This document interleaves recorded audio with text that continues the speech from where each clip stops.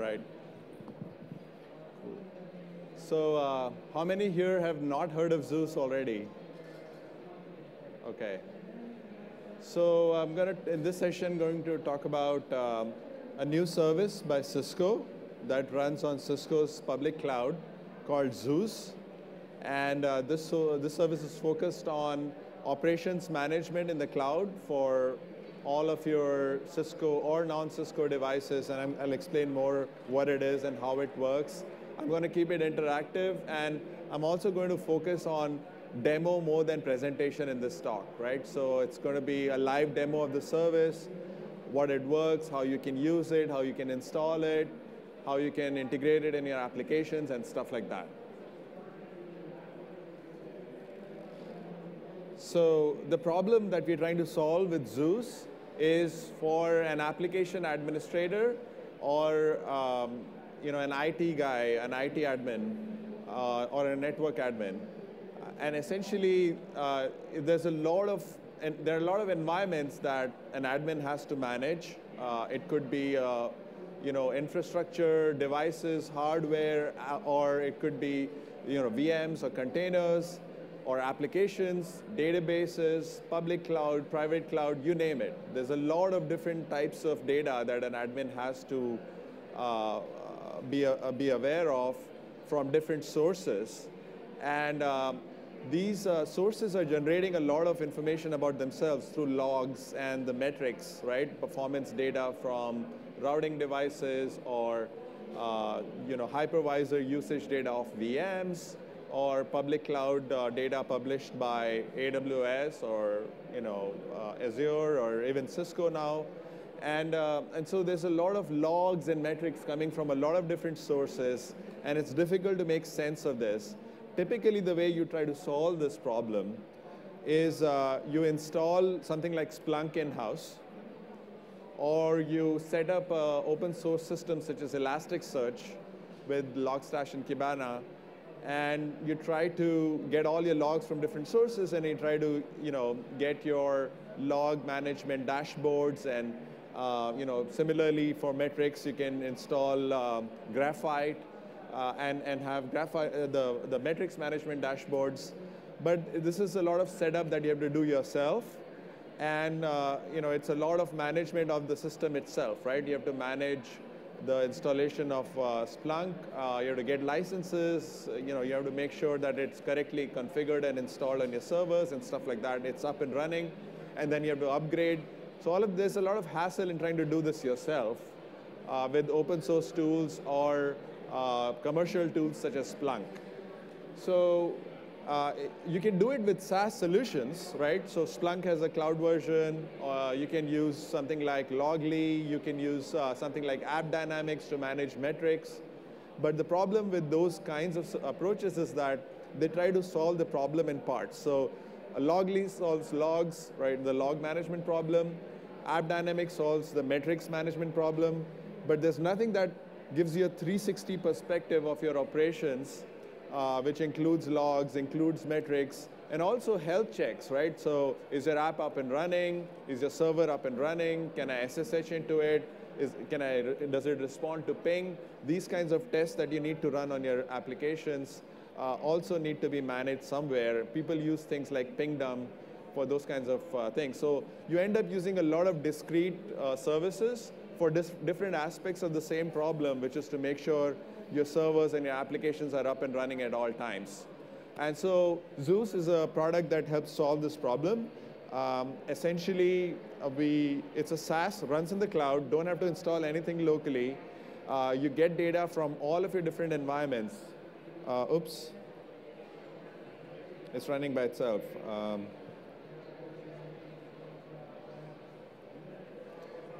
uh, so you can get data from all of your environments. Um, whether they're running in the cloud, uh, whether they're on-prem, whether they're from applications, um, uh, you know, VMs, containers, machine data, you name it, doesn't, uh, doesn't make a difference. Uh, put it all into Zeus, and Zeus does, uh, gives you a lot of interesting dashboards and analytics on top of it. I'll give you some examples. Actually, I'm going to run um, the uh, you know run Zeus and actually show you all this stuff. These kinds of dashboards that you can run for logs, uh, as well as uh, uh, metrics. Metrics are integrated in the same application as I mentioned. Um, so before I actually show you uh, a demo, uh, let me um, show you an intro video of Zeus. Let's see.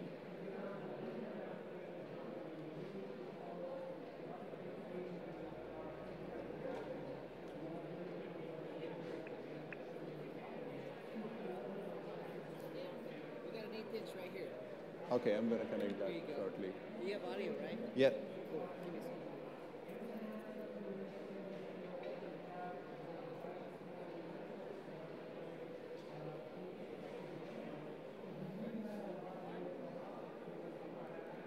some. As an IT administrator or application developer, you have a growing and increasingly diverse environment to manage. You have hundreds of hardware devices, VMs, containers, cloud instances, connected devices, and traditional or emerging application deployments.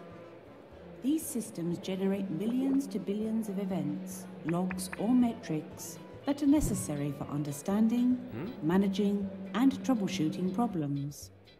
Current solutions, such as on premise applications or open source tools, require a lot of work in hardware setup, install, and ongoing application management. Software as a service based products are better because they allow you to focus on the core problem. However, current products handle the problem in isolated parts.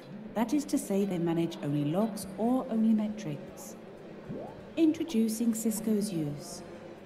Zeus is a software as a service based solution that makes it easy for you to manage events, logs, and performance data from your entire environment.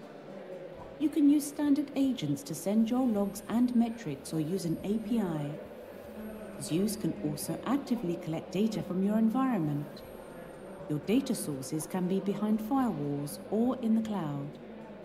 Zeus provides modern visualization, search and dashboard capabilities that make it easy for you to understand and manage your environment quickly.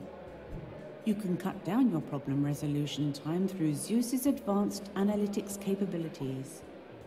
Zeus also automatically analyzes your data and notifies you when any issues are detected so you can take action on the right data at the right time. Zeus, a simple and modern cloud-based operations management solution from Cisco.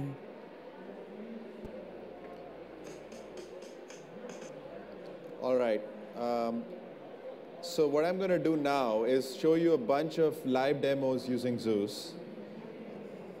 So let's start with,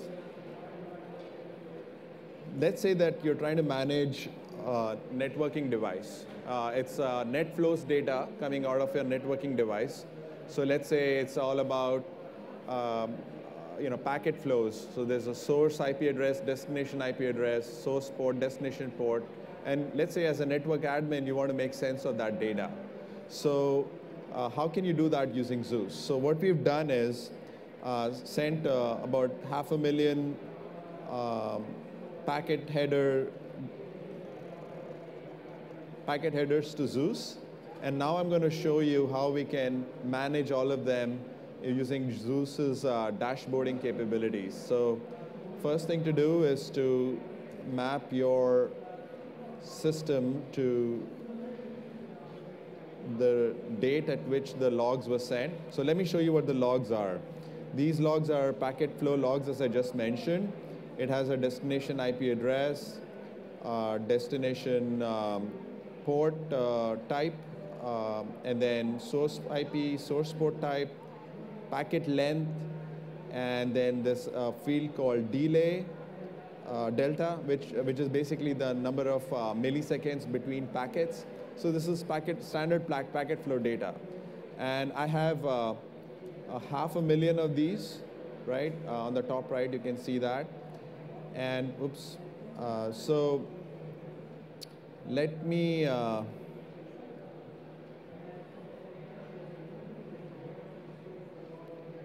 let me show you how we can analyze all of this data in really interesting ways using Zeus. So the first thing is, uh, I'm gonna, let's say I'm interested in finding out all of these packets, where are they going? What kind of protocol are we trying to access with these packets, right? Is it for the web? Is it for mail? Is it for something else? So uh, let's try to analyze that using um, a dashboard. Whoops, how did this show? All right, so let me create a pie chart. And what I'm going to say is I want to make a pie chart of terms. The terms in this case are the destination port name, right? I want to know what are the most common ports that are used um, in my router uh, by my clients. And I'm going to make a donut pie chart out of it. So what I expect to see is a breakdown of the port names that were, that were present in the packets. Okay, so basically the most common port, uh, port address that is being used by clients is for web browsing, right? HTTP, followed by mail. They send a lot of mail, followed by, there's a lot of FTP traffic in this case. So it's probably some server kind of management uh, use cases. Um, but this is not all. I can do a lot of such uh, uh, interesting visualizations, and then I can combine them to make dashboards. So I'm going to show you how such visualizations can be put together into a dashboard. And I have a saved dashboard here called packet header packet analysis dashboard. Okay, so what this is showing is I've got 500K packets that I have analyzed on Zeus. Um, these, uh, this, this visualization that I just created is a part of uh, one of the uh, visualizations that I put into this da dashboard. But th that's not all. Like if I want to see what are the most common clients trying to use HTTP, the web browsing. Um, so yeah, these five clients, these are the top five clients that were trying to do web browsing. And this was the most uh, common you know, originator of web traffic. Um, this is this uh, chart on the right is the same chart on the on, uh, as this one, except that it's now a percentile breakdown as opposed to a count breakdown, right? So this is the absolute comparison of uh, FTP and HTTP traffic, and this is a percentage comparison across the top five hosts of that of that traffic. Um, I can also see what are the most common packet lengths. Uh, this is a, a you know packet length of 40, which is typically used to, uh, to do HTTP, packet header kind of uh, connections is, is uh, the most common. And then I have, there's a lot of um, packet lengths for um, of 1500, which is the maximum transmission unit. So this is uh, you know the top five packet lengths, and then this is a distribution of those packet lengths uh, according to ranges, so in a histogram. Uh, and then uh, there's another histogram. So I'd like to understand, for example, how frequently do packets arrive? Um, uh, you know, what is the time interval between packet arrival? Uh, and so this chart kind of shows me that. Uh, so it's a bimodal, I guess a trimodal kind of distribution that I see here. Uh, there's a lot of packets that follow each other, and then there's some intermediate packet delay, and then there's a long delay between packets. Uh, so this is kind of expected in router traffic. So yeah, basically I can make, uh, this is not all, right? I mean, this is just for network packet analysis. I can do this for web traffic. I can do this for uh, you know, my VM data, CPU usage, or I can do this for databases. Uh, you know, it, the sky's the limit. Um, you know, this, this dashboard happens to be just customized for routers. So uh, this is one aspect. Uh, as I mentioned, most of the systems that you see in this space, they manage logs, right? They, they kind of just do log analysis. But as an operator, you want to also manage metrics. So let's say you're running out of disk space, you'd like to see an event in the log saying, hey, running out of disk space. But what is the disk space and what was the usage and growth of that disk space over time? Uh, that information is not in logs.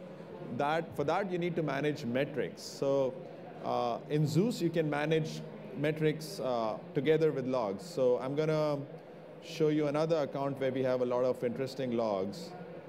Um, I'm sorry, metrics.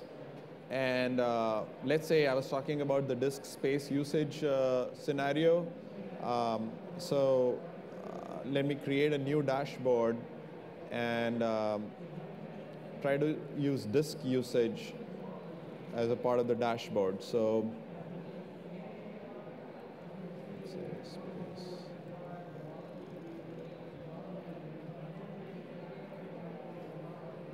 Okay, this one doesn't have disk space usage, but at least it shows me, for example, how many disk writes and reads happened across my different servers. So this is the server name. Uh, this is the this is the disk name, disk uh, ID, and then the actual amount of packets read over time. This is fairly static because there's a lot of activity happening. Uh, let's see something that varies over time. Memory for the same server. Yeah, so this is a change in memory over time. Uh, fairly static again, um, about uh, 19 uh, gigabytes of memory used. So, um, so yeah, so this is the first system of its kind that can manage both performance data, metrics, and logs in the same system. So uh, let's make it a little interesting. So I did mention that you can get data from a lot of different sources. You can get from routers or VMs or applications, CPU. Let's try to build an application and try to send events, metrics, and logs from that application into this. And this is something that all of us can actually interact with. So I'm going to show you um, some application code, uh, which is a chat server. Let me first show you the application, and then I can show you the code.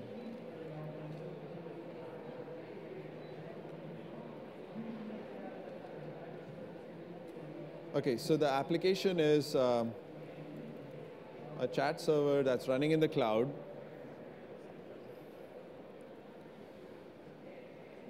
And it's simple, right? I mean, I can just uh, log in, you know, don't even need to log in, just enter the application and start sending messages. And as multiple clients connect, I'm going to open another browser and uh, send some messages.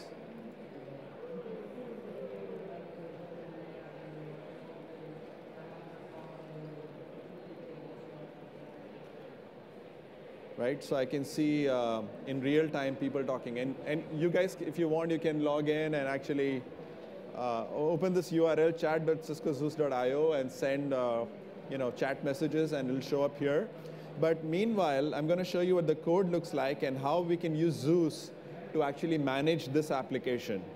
So, um, so on the left-hand side, I have two, uh, two files here. Um, on the left-hand side is the old code, which is essentially, okay, open, you know, server opens a port, uh, listens on the port, and then when there are messages, okay, a new message from a, from a user, uh, user has been added to the chat, um, you know, user joined, user's typing something, that's an event, uh, user stopped typing, user disconnected by closing the browser window. So these are events that are being generated that are used to manage the UI.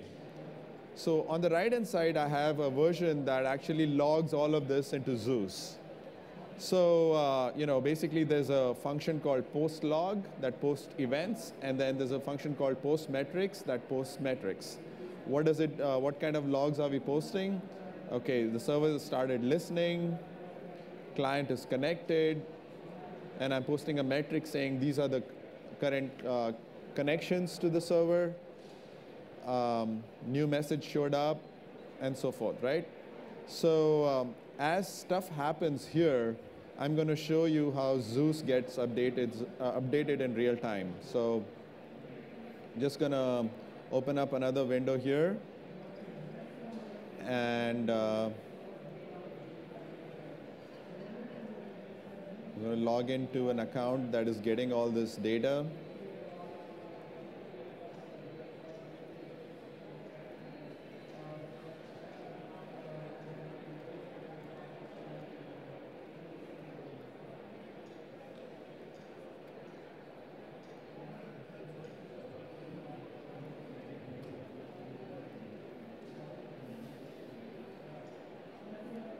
Okay, so what I'm going to do is make this update in real time, uh, so five seconds.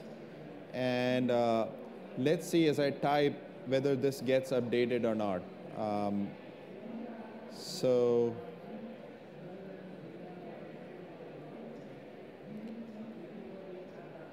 and I'm going to filter by an event type which says uh, new message. Okay.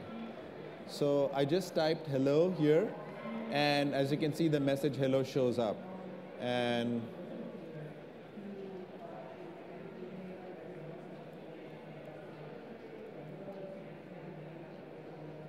in uh, five seconds or so, uh, this new message, what's up, should show up. There you go. Okay, so it's a system that's logging in real time the chat um, events that are happening in the application. And uh, that's not all. I showed you that I'm creating some metrics as well, right? So for example, how many users are currently connected? So there's a metric called user count. So let's uh, see that metric. So I'm gonna open a new tab and check out that metric.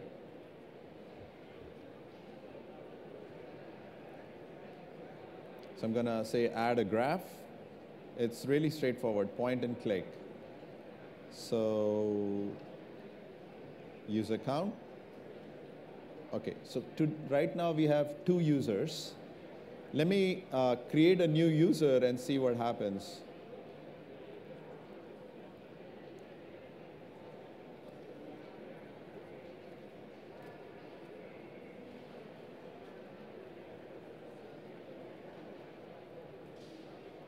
There you go. The count of users actually went up to three. So, um, so yeah, this updates in real time, and you know, just to show um, how interesting it can be, let me fire up a number of users. So. Um,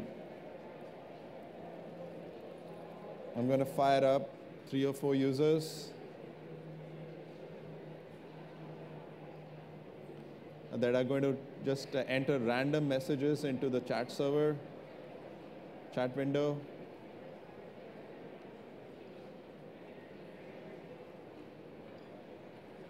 So these guys uh, are just going to enter, keep entering, you know, random messages. And the count of users just shot up right after that to five.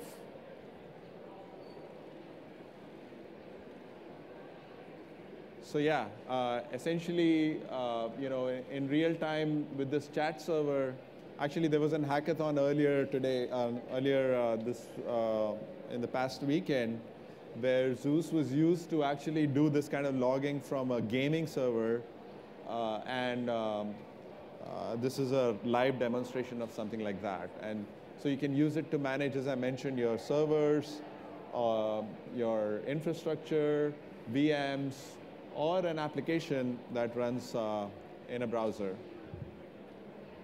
And actually, you guys in real time can actually, you know, type stuff into chat.ciscozeus.io, port 3000, and uh, it'll show up here. So actually, that's all for my talk. Uh, and if you'd like me to show you something, I can. Uh, if you want to ask me questions, I can answer your questions.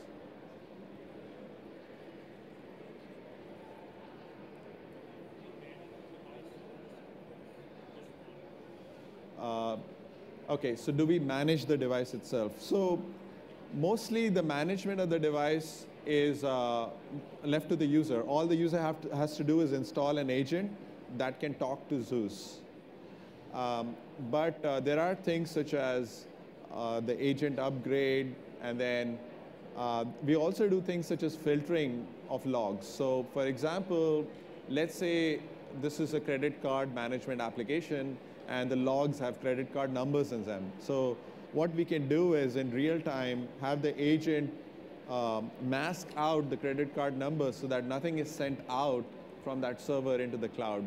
But as such, the management of the system uh, the user has to take actions. I mean, we can manage the health of the system and say, okay, the server is down or didn't respond to a URL request and stuff like that. But uh, other than that, the user is, uh, this is, this is operations management. So only gives information about what's going on and helps you quickly troubleshoot if there's anything wrong. But uh, the actions have to be taken by the users.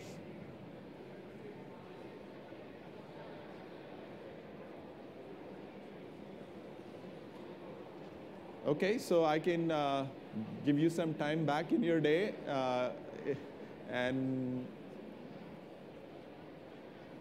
there's a Zeus booth in the DevNet, uh, just a couple of uh, uh, booths from here, and there's also Zeus, Zeus booth in the World of Solutions downstairs in the Cisco World of Solutions. So, thank you.